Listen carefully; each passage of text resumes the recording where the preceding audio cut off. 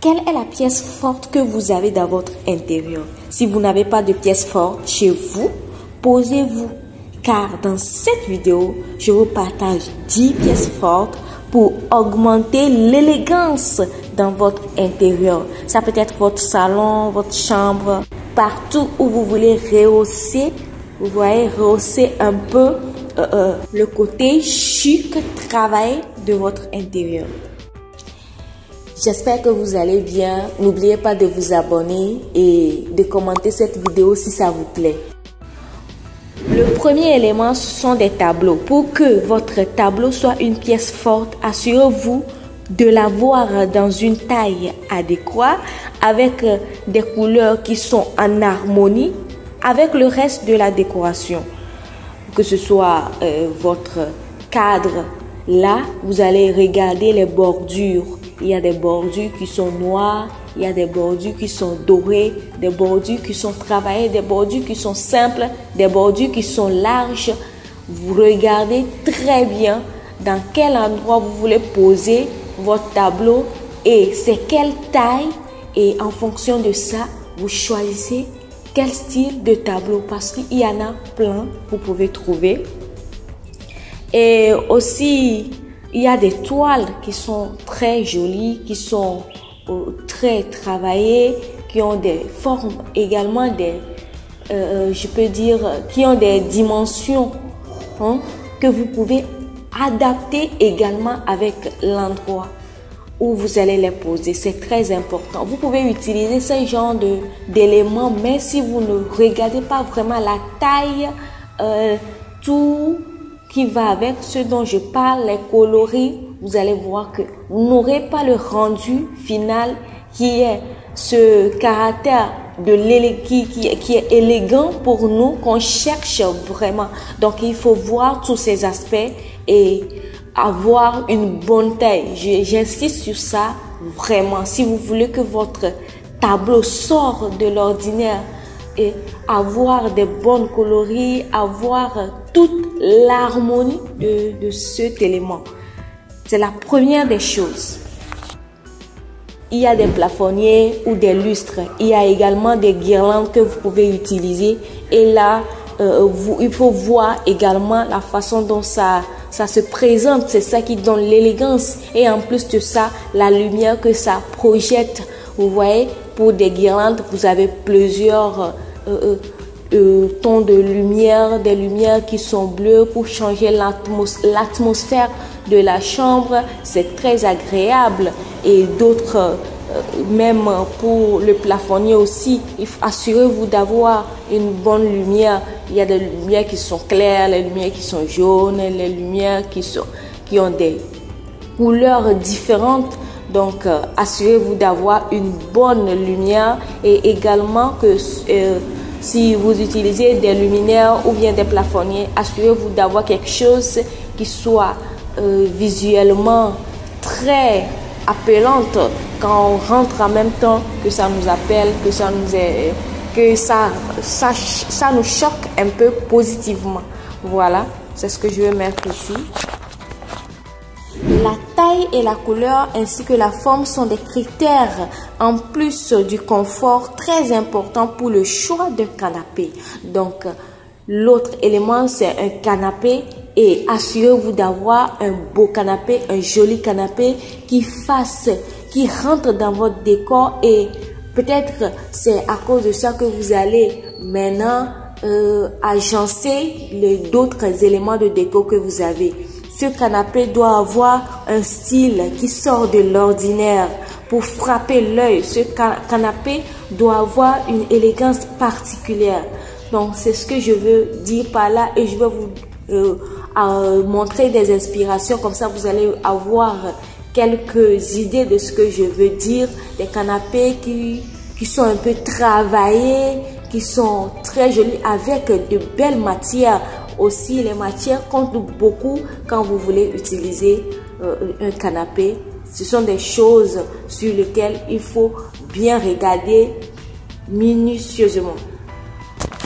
Les tables, la table centrale ou la table de la salle à manger peut tout changer dans un intérieur. Quand vous prenez euh, la table de la salle à manger, quand vous, vous avez une belle table, ça fait toute la décoration déjà. Donc, euh, ce sont les éléments euh, sur lesquels il faut voir les matières qui sont utilisées. Si vous voulez utiliser du bois, c'est quel type de bois qui il faut que ça soit élégant. Il y a des pierres maintenant que vous pouvez avoir comme euh, table, donc qui sont en pierres en travertin. Voilà, des pierres en travertin, des marbres. Il y a de belles matières que vous pouvez avoir comme table qui change automatiquement hein, le, le visuel.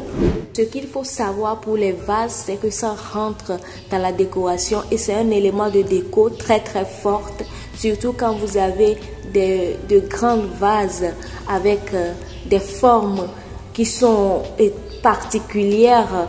Vous pouvez avoir quelque chose de très agréable comme décoration et je vous conseille d'aller sur des tons un peu épurés pour la colorie de vos vases et vous allez voir que ça rentre parfaitement. Ce sont des éléments à ne pas négliger. Ça habille tout de suite. Pour la chambre, il faut savoir que le lit, c'est le premier élément principal de la chambre à coucher quand vous rentrez en même temps. C'est autour du lit que vous allez concevoir votre décoration. Et donc, assurez-vous d'avoir euh, un, beau lit et vous allez voir que vous n'aurez pas à casser la tête pour la décoration. Avoir euh, un lit qui est bien, des couvertures qui sont beaux, en même temps, je pense que vous avez, je suis sûre que vous avez déjà décoré votre chambre à 70% et le reste c'est juste euh, des petits accessoires par ici et par là et vous allez voir. Donc assurez-vous d'avoir euh, un beau lit avec une belle tête, tête de lit et deux petits euh, tables de chevet à côté et tout est gagné. Le rideau aussi peut faire office d'un élément fort dans une pièce quand vous avez de belles rideaux avec de belles matières, un rideau qui respecte les codes. Parce que j'avais déjà fait une vidéo dont je vous parle de comment vous devez mettre vos rideaux pour avoir un bel rendu, pour que ça frappe l'œil. Je vous mets la vidéo soit en petit i et je vous mets euh, dans la barre d'infos aussi. Vous pouvez aller voir parce que j'ai parlé beaucoup du rideau. J'ai dit tout ce que vous pouvez savoir sur le rideau. Donc, je ne vais pas m'étaler, je ne vais pas euh, traîner sur ça ici. Si vous voulez voir ça, allez sur cette vidéo.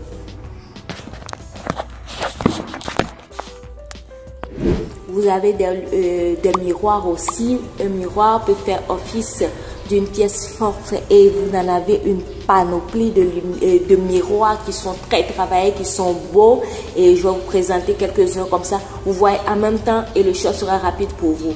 Pour avoir euh, un bel effet de, de miroir dans votre intérieur, il faut aussi voir la dimension. Il faut que le, miroir soit un peu grand. Si c'est trop petit, ça ne peut pas se faire voir. Et si le miroir est plus grand, ça euh, donne une luminosité dans la pièce, ça agrandit l'espace intérieur.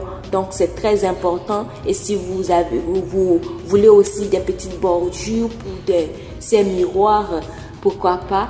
Et vous voyez qu'il y en a des miroirs qui sont très qualitatifs, qui coûtent un peu cher et même si vous n'avez pas de budget, il y a plusieurs astuces d'avoir des miroirs. Il y a plusieurs astuces. Vous pouvez agencer des petits miroirs pour créer quelque chose qui sort de l'ordinaire. Il faut toujours avoir cet esprit de créativité et pour avoir quelque, euh, chose de, de très chic, de très élégant.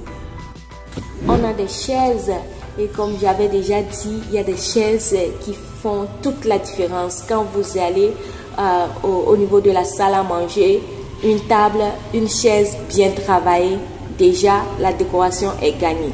Juste amener une petite touche et c'est fini. Donc, euh, faut pas négliger des chaises, surtout pour la euh, de la salle à manger, pardon. C'est très important parce que vous n'aurez pas à casser la tête pour les trucs qui sont aux alentours. le dernier élément sont des tapis. Là aussi, il faut voir les matières. Hein. Il faut voir les matières, il faut voir les coloris, il faut voir la taille du tapis pour que ça cadre bien avec euh, euh, votre canapé, votre euh, table centrale, pour que tout soit parfaitement en accord. Il faut pas trop, même si c'est trop trop grand aussi, c'est pas joli. Si c'est trop petit, c'est pas joli. Il faut avoir le juste milieu et voilà, parce que je ne peux pas donner une dimension parce que ça dépend de quel canapé vous avez, l'espace que vous occupez. Euh, voilà, ce sont des trucs, des choses à voir et tout le monde a une superficie qui est qui n'est pas la même. Donc, euh, il faut ceci avant de choisir son tapis.